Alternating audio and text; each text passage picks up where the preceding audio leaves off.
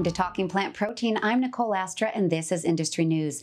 Research has uncovered an encouraging link between young consumers and climate change.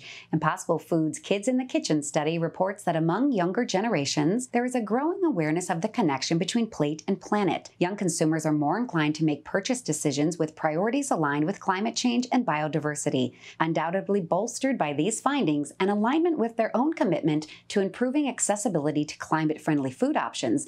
Impossible Foods has opened a plant based door in the education sector.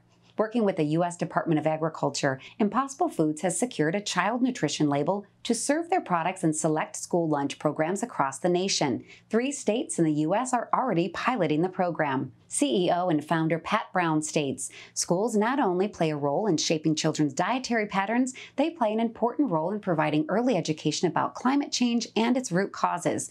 We are thrilled to be partnering with K 12 school districts across the country to lower barriers to access our plant based meats for this change making generation.